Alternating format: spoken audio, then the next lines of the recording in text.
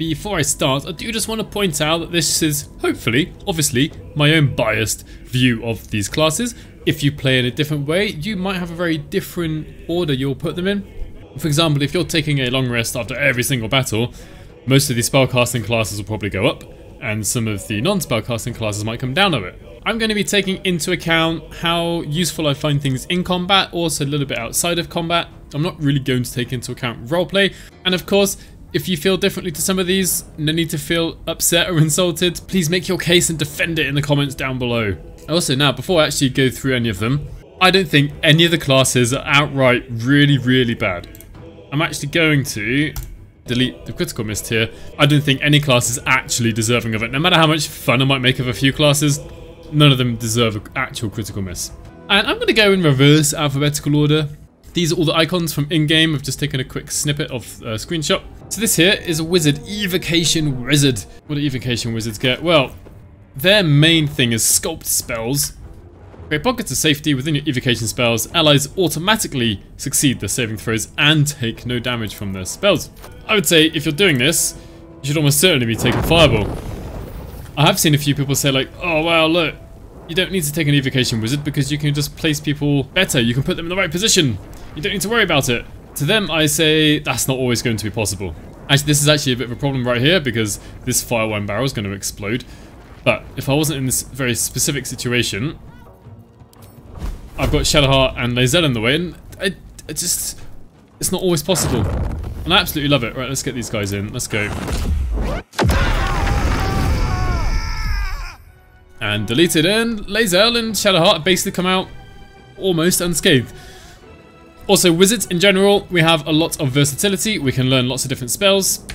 At the moment, this wizard's got a fair few spells, and our choice of spells is excellent. So I'm going to give that, put them in A tier. Not critical hit, not right out, out of the top, but very strong choice. Then we move on to the Abjuration Wizard. So wait until that wizard's turn, which is Gale. What we get for Abjuration Wizard is Arcane Ward.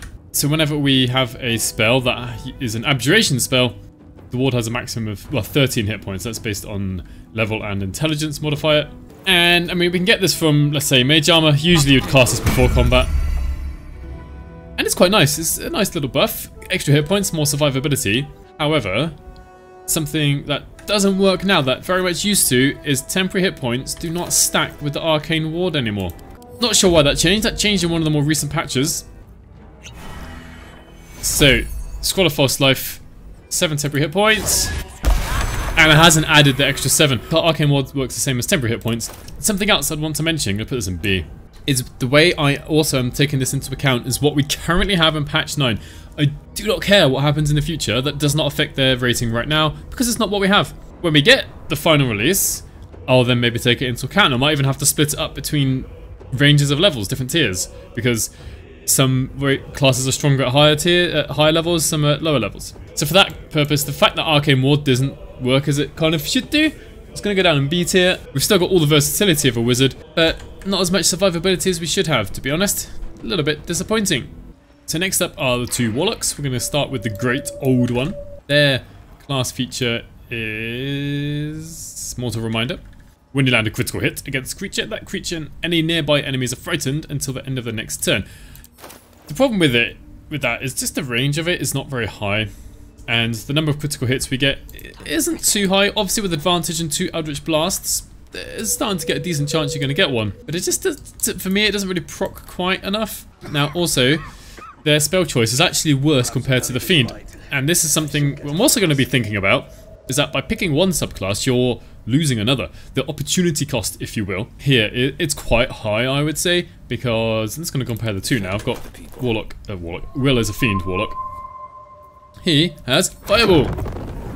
I know some people are like, oh, Fireball's overrated. At the moment, I don't think it is, because we're only at level 5. We've got lots of enemies with not many hit points, and there are several fights that have lots of enemies quite close together. Not all of them. I am not advocating that you use Fireball every single round of every single fight. But it is such a powerful spell. It is overpowered for its level. And so by not taking the Fiend, you are losing out on Fireball. And since we're here, let's look at them both together. The Fiend Warlocks then gets Dark One's Blessing, that's it here. When you reduce a hostile creature to 0 hit points, this gift from your patron grants you 8 temporary hit points. Perhaps this doesn't proc uh, as much either, but you're in a bit more control of it. You can kind of see which enemies on lower hit points and then aim for them. And the, the temporary hit points isn't loads, but you can replenish it every time you actually uh, get someone to zero hit points. So, because of that, I'm going to put the Great Old One at B, mostly because it misses out on Fireball. Also, each of the two Warlock subclasses do get their own special spells, except the Great Old One doesn't get any special spells at, to pick at level 5. There just aren't any. I don't know why. No explanation for it. The levels 1, 3, 5, I think 7, maybe eventually 9 or whatever. Anyway, levels 1, 3 and 5, the Warlock subclasses are supposed to actually have specific spells they can choose. We don't get them for at level 5 the Great Old One. For me, it makes it uh, below the Fiend. Next up are the Sorcerers with Wild Magic first before Draconic. So Wild Magic users get this Tides of Chaos, which gives you an advantage on attack roll, ability check or saving throw, and you get Wild Magic Surges. Now, I think this here is a bit more subjective about what you like. Ooh, that was nice. Because if you like the wild magic surges, and you like the bit of the randomness, you don't know what's going to happen, this is probably very, very good for you. If you like the more consistent sort of sorcerer, then it's going to be the draconic one. Now, personally, I kind of prefer the draconic one for two reasons. One, we get inbuilt armor, mage armor, effectively, because we can have an armor class of 13 to begin with, or, yeah, base armor class 13 plus your dex, which is what mage armor is, so kind of saves the spell slot. Or spell slot, sorry, spell known. And then, To the power of sorcerers, eh?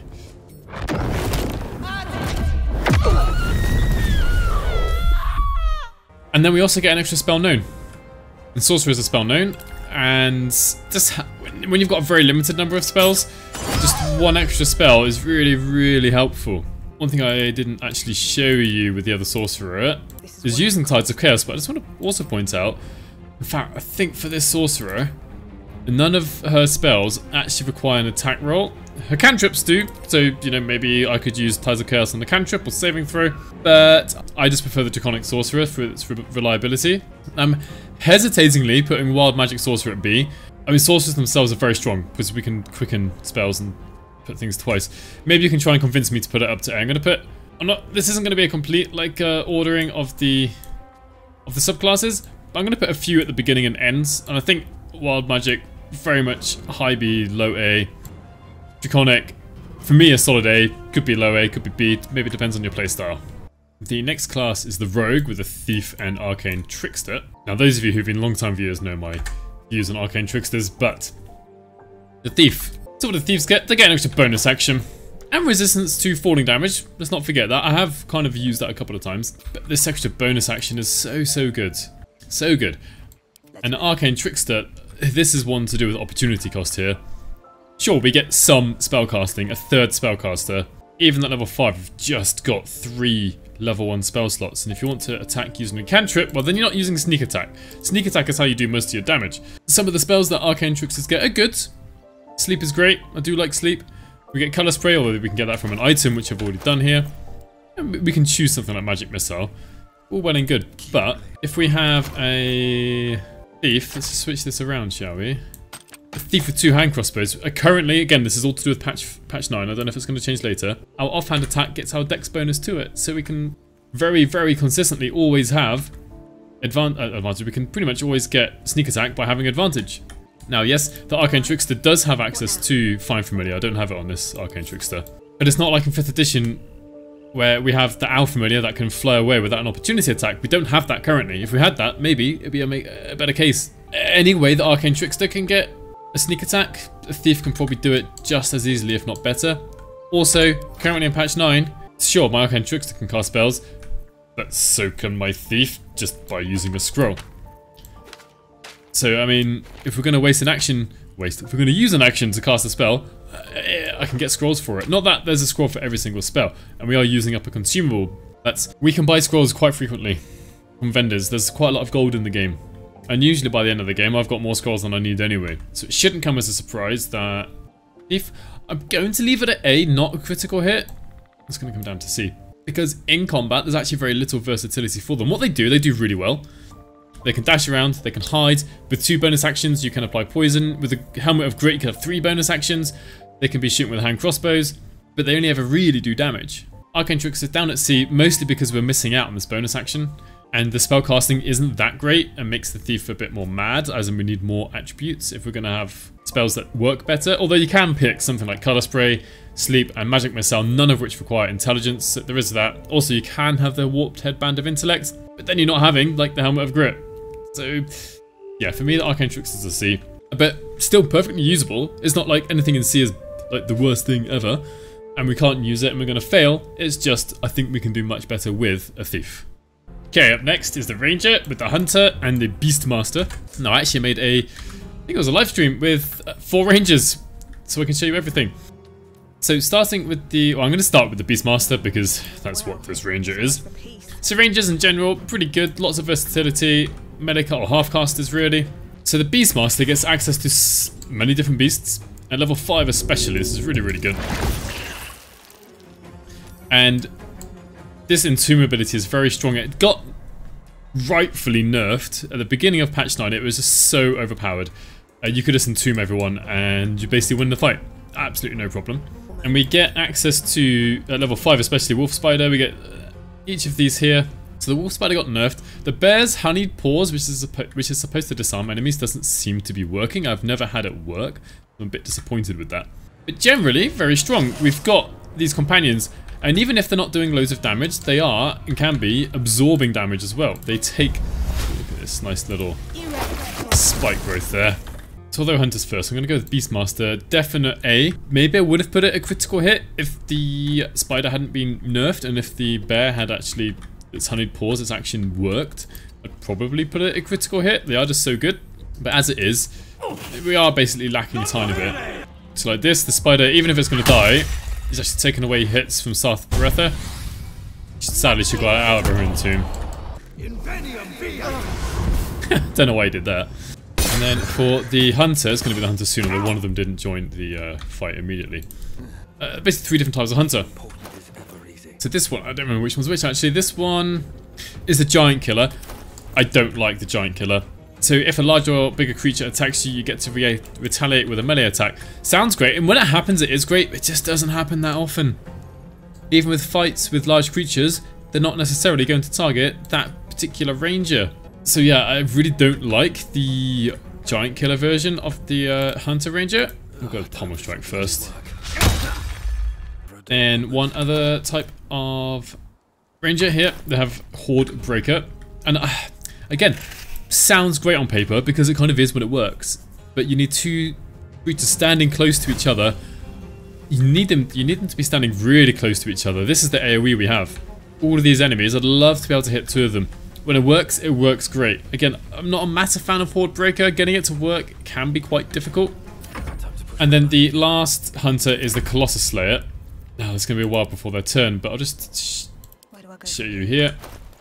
Once per turn, not not every time they attack. Once per turn, your weapon attack deals an extra 1d8 damage if the target is below its hit point maximum. And with two attacks per turn and other members in your party, it's actually very likely. It's a very consistent, if a tiny bit boring, but very consistent uh, way to do damage. I Just wanted to... Yeah. So I need to pick when I want to use it. Let's get a bit closer. Because Colossus Slayer will work on the first attack that we do where someone is missing hit points. It's a bit of a gamble, I'm gonna try and hit Raider Chost first. There we go. We get, that extra damage. Nice. So for the Hunter Ranger, eh, I'm not gonna put three separate tiers. Overall is a B because two of the options just aren't that great. Next up we have the three Paladins. We've got Oathbreaker, Oath of Devotion and Oath of the Ancients. So this one here is the Oath of Devotion. So they get quite a nice channel oath thing here. Sacred weapon. Imbue the weapon in your main hand with positive energy to turn it into a sacred weapon, which gives you a bonus to attack, which, which is equal to your charisma modifier. Not maxing out, but having a high charisma on a paladin is actually very strong because of all these extra abilities they get. This I would usually try and cast ahead of time. Also get Holy Rebuke. I don't really like this. It's only for two turns, 1d4 damage. When someone actually hits them, it's not that great. But otherwise, pretty darn good. We also do get Sanctuary. It's quite unique. It's a very cool spell. Then we have this Paladin is an Oathbreaker. Their channel Oath abilities are Dreadful Aspect. This is actually really strong. Let your darkest emotions burst forth. Frighten nearby enemies for 10 turns if they fail the saving throw. And the radius is 30 feet. It's really high. So even from here... Oh, not quite. Can't quite get that one over there. But if I just move a tiny, tiny bit, we'll try and get them. Now, their wisdom saving... I think uh, Duergar might have advantage against... No, they don't have advantage. They just rolled quite well and the DC isn't as high as it could be. But this one's now out, out of the fight, pretty much. It's got ranged attacks, sure, but it's got disadvantage on them at least. And lastly, we have Oath of the Ancients that she's going over here. Her channel Oath Charge, uh, Healing Radiance. I can't quite show you it right now. But for a bonus action, you heal all nearby ally allies at this turn and next turn, and I'll show you that. And I think that's very strong indeed. Anyway, Paladins. Oh, he's already used this action. Generally a very strong class. They get the half spell spellcasters, they get the lovely smites, they get channel Nice. They got the channel oath charges. They've got lay on hands for extra healing. That's almost nothing not to like about them, to be honest. Oh, I'm just gonna wait for. Oh, find it now. Let's have it in here. This is a Larian thing. Healing Radiant. So I've only got Astarion nearby. I don't want to risk falling over on the grease. And if you do, as I have, I've got a few items that buff healing. Spring Promise, Outrider's Pride, Boost of Comfort. Uh, I think that's all of them. Not only does this, does this heal, but it gives buffs out as well, which is really, really cool. And it's a bonus action. That, to me, that's almost the strongest part there. And we get another 10 hit points, and those buffs get refreshed. So, I'm going to put Oathbreaker and Oath of Devotion at A. And my first critical here, Oath of the Ancients. This extra healing, the, mostly it's it's actually three a few different things. One it's a bonus action, and healing with a bonus action is quite rare apart from healing word.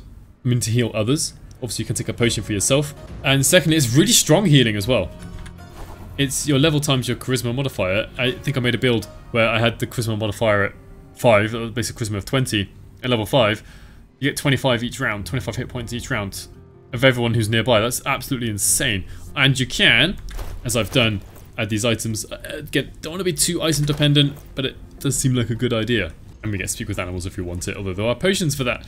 Overall, the Paladin is a very strong class, very versatile, can do lots of things. The only thing they're really missing is a area of effect damage, but that's it, that's it.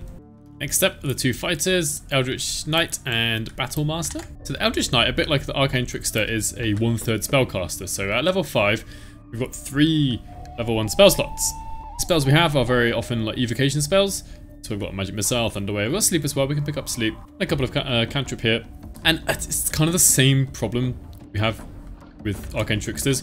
The spells we currently have, do you know what, they're just not that great. In tabletop, the spells Eldritch Knights would often like to use often defensive spells. I know, shields, perhaps blur, where you use your spells to make yourself even more tanky than you already were. Whereas here, I probably just want to attack twice because with an Eldritch Knight, for casting a spell, or most spells, it means we don't get our two attacks. Whereas a Battle Master, which is what Lae'zel is, gets her... And here's an example of why Battle Master is great. We've got these different options. Here's Riposte. Whack. Doing damage outside of her normal turn. Be quite well. So Battle Masters get maneuvers, and most of them are pretty good. So they add utility, and quite importantly, add damage. Disarm, look at this. Hopefully. Bam! Dropped. I'll go and pick that up. Thank you very much. You now got to hit me with your fists or with rocks or something. You don't have a have a weapon? Fine. Trip attack. Uh, I'm not close enough. anyway, we've got these different maneuvers and they add utility and damage and overall just amazing. I'll just not because of the opportunity cost and the fact we can only go to level 5 and the spells they get just aren't that great. I'm going to put Eldritch Knight as C tier. And honestly, Battle Master, critical hit. Anytime I've made Lae'zel a Battle Master, she has never let me down. Absolutely love doing this extra damage. The, the choice of Battle Master maneuvers as well. And the fact they replenish on a short rest, not a long rest, even better. Next up are Druids, Circle of the Moon and Circle of the Land. I think lots of you probably know what's going to happen here, but for Circle of the... Let's start with Circle of the Moon. We basically get some extra wild shape options, such as the Bear and Dire Raven, and wild shape is now a bonus action instead of an action. Sure, using the the fact that the wild shape is a bonus action does potentially let us, let us take more damage in combat because we can wild shape more easily. But the well-known thing is currently at level 5, these wild shapes are basically not very good. Sure, 30 hit points is alright, you know, I'm not complaining about that particularly. But look at this, 2d4 plus 4 damage, just a single action. And sure, it might actually kill this goblin, but it's a goblin, it's got 7 hit points. What does a land druid get? They get to pick extra spells out that are outside of the druid spell, at least some of them. And you get to customize these spells. It's not like in 5th edition where you pick a single land and you're stuck with it. At level 3 we get to pick a particular land. At level 5 we get to pick a different land. So it's only shown me one of them. Uh, Underdark gave me Web and Misty Step. But then I got Haste. Haste is an amazing spell. Druids don't normally get that. And we do get natural recovery charge just like a wizard does. Wizard, uh, wizards. Druids themselves are pretty awesome. I personally love Call Lightning. Again, these are goblins, so should probably die. But coming to here, the thing here is kind of the opportunity cost and the fact the wild shapes are currently for level 5 just not good enough. When we get to level 6, we've been told we're going to get an owlbear, and this will probably shoot up to like A or critical hit, but as it is at level 5, it's a C. Land of the Druid, I'm going to put it A. I was actually thinking about putting it a critical hit, but I, I don't know, it feels like it's lacking just something. And it's not very descriptive, but the fact we get to choose the spells, we're basically a good spellcaster, and we can wild shape. And in fact, one of the better wild shapes that we currently have is a spider. So we use an action to turn into a spider, and on the turn we wild shape, we actually get, once this allows me, get to cast web as a bonus action. And in fact, Moon of the Druid, Moon of the Druid, Circle of the Moon, takes a bonus action to Wild Shape, which actually means you can't use this web on that same turn because it uses a bonus action. So sadly, by taking Circle of the Moon, we're missing out on what Circle of the Land can give us. So it goes down to C. But by all means, still strong enough. We still get Call Lightning. we still get some pretty awesome spells.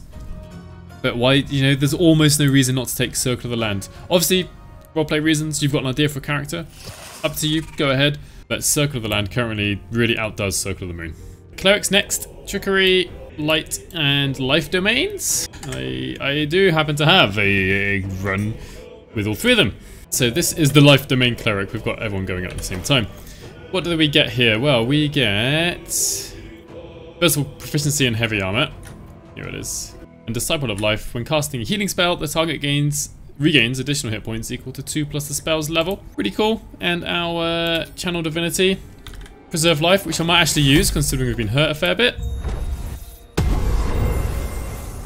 Which also gives some buffs because I've got these healing items I had on the Paladin. My kind of, I, I guess, problem with this is that that used an action, whereas on the Paladin, Oath of the Ancients, it's a bonus action and it heals for two turns. Secondly, generally, apart like this channel divinity is actually really strong. But outside of that, healing isn't that great in combat. Sure, I can cast Healing Words, it's to do okay. Eight hit points? I mean, shouldn't I just use a potion instead? It's my bonus action gone. Usually, usually healing is used when people are down on the ground. And the thing is, it's not like it's bad, but compared to my favourite domain by a long way, the Light Cleric, which gets this here, Warding Flare, use, use your reaction to impose disadvantage on an attacker. And this is every single turn. Our Channel Divinity, Radiance of the Dawn. Pretty amazing. Uses an action, but it's a nice AoE doing basically plenty of damage here. Let's have a look at this. Boom. And lastly, lastly, get Fireball. We get some other pretty good spells as well, actually. We is okay. Fire pretty good. Flaming Sphere's alright. Scorching Ray, mm, probably for Claire. I don't need it so much. This is from an item, this is from an item. We get Daylight, not the best, best spell. Actually, down here in the Underdark, it can help against the Drow and Duergar. And this is from reading a certain book. But this Fireball is just over the top. And then we have the Trickery Domain Cleric. I know a lot of people don't particularly like the Trickery Domain Cleric. This Channel Divinity isn't as good as it could be. We can't move it around is the main problem with it. And this gives advantage to enemies that are close by, as long as you're close by as well. I'm just going to get a bit closer. There we have it. Invoke Duplicity now. So now I can try and hit the Spectator. We've got advantage, so yeah, pretty good chance to hit. The spells we get as a Trickery Domain Cleric. Charm Person, ugh, don't like that at all.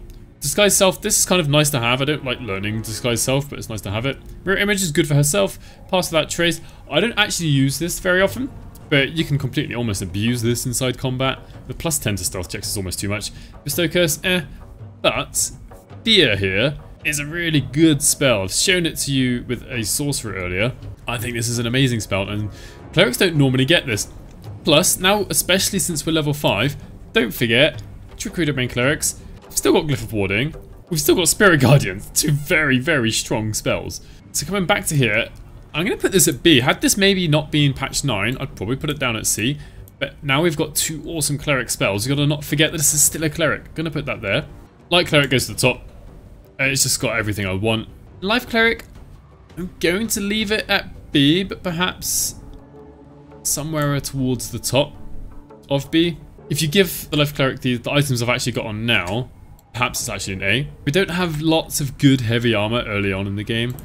Sure, I've been down to Grymforge and I've gotten this adamantine splint armor, which is pretty cool. And we've got this Grymskull helm, so if someone hits hits her, they get reeling, which the spectator has, so they're very unlikely to hit now. But uh, yeah, currently in patch 9, heavy armor selection is limited at least. And healing, although it sounds great, it's, it's not quite as effective as you think it might be. Like, I'd rather use some sort of attacking spell with my action rather than cure wounds, for example. The saving grace is the fact that the healing is a large AoE, but now we've got Oath of the Ancients, I kind of feel a bit worse about having this Preserve Life Channel Divinity. It's okay, basically, but it's not the top thing we're ever going to have. Let me know if you agree with that. I've got a feeling that perhaps Trickery Domain and maybe even the Life Domain Cleric, I know people have a lot of love for them.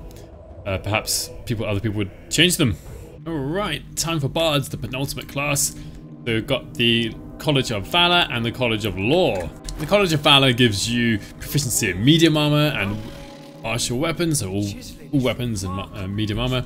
And your inspiration can actually help deal extra damage and armor class as well as a normal inspiration. And then the College of Lore gives us three extra proficiencies. I'm wondering if it actually tells us here that they are. No, so at level three, we get proficiency in Arcana, Intimidation, and Sleight of Hand. And if you've picked them at character creation, it's a waste.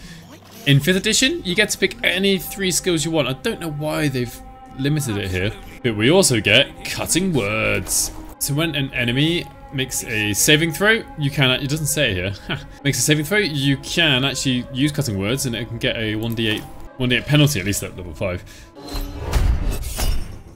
Level 19, I can use Cutting Words, and... Okay, they passed because, you know, it's 1d8, it's not a guaranteed amount. I rolled a 2, I needed a 4 or above. It's kind of a shame we stop at level 5 in early access because the Valor Bards gets proficiency in martial weapons. Like, cool, we get to attack with weapons, but at level 5 we can either attack once or cast a spell. At level 6 we'd at least be able to attack twice, which is a shame. And uh, the Lore Bard's Cutting Words is really strong, really strong. I'd like it very, very much. It helps here. We can hopefully help them stop to hit. Yeah, it worked. You can only use it once per round. It is a reaction, so I can't use it with every single attack that's incoming. But we can save ourselves. And so here's the Valor Bard. Doesn't get anything else to use in combat apart from combat inspiration. Let's give it to Lae'zel. Oh, I think she already had it. Whoops.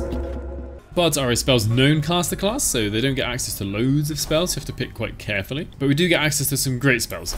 At the very lower levels, they don't do much damage, but at level 3, we've got Glyph of Warding, which is basically over the top. Very, very powerful spell. We've also got Shatter, which is decent. Cloud of Daggers, which is very good. So here it is, got Cloud of Daggers. We get Fear. Uh, so actually, by the time we get to level 5, we've got plenty of good spells that can do damage as well as supporting. Bards are a very versatile class. We've got Jack of all trades. So let's come to here. For the Valor Bard, again, the part of this is opportunity cost. We're losing out on cutting words. I don't find combat inspiration quite as good. I much prefer to make the enemies either not hit or fail a saving throw, which is much more powerful. I'm going to put that there, College of Lore at A. I think for myself, if they let us choose our proficiencies at level 3, I'd put this at critical hit. But there's no way to know ahead of time, unless you research ahead of time, what three skills are going to be picked for you. In Arcana, Intimidation, Sleight of Hand, chances are you might even pick Sleight of Hand. Because we do also get expertise in some skills as well at level 3. And last and certainly not least, Barbarians. We've got Wild Heart and Berserker. So the Wild Heart actually gets five different choices of which type of Wild Heart they want to be, which they can change at level up. I'm not going to go through all of them, it's a bit too many for this video. I did make a Barbarian Guide video, so if you want to learn more about them, go pick that. But what I will say is, this gives the Barbarian a lot of versatility, something different. Each of them gets something new that Larian have come up with. For example here I get Diving Strike, there's an Eagle Heart, pretty damn awesome. And then we have the Berserker, who goes into a frenzy rather than a rage.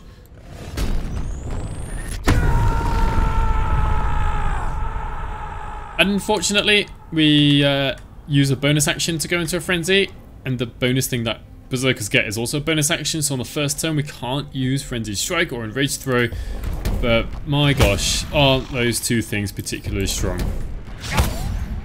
Use bonus action for an extra attack. Frenzied Throw automatically knocks someone's someone prone. You can throw anything and knock them prone.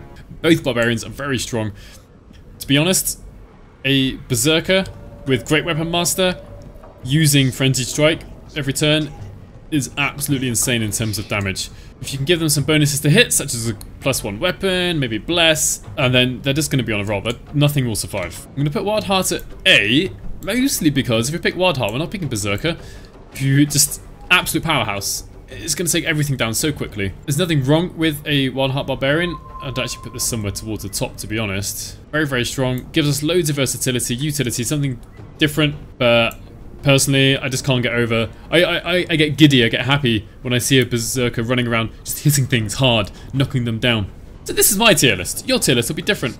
Is there anything you think I've been too generous to? Anything you would move down. I've got quite a lot at A, quite a lot at B. I found it quite hard to actually make this tier list because there's no class that's wrong. No class that's bad to use. There's no trap class.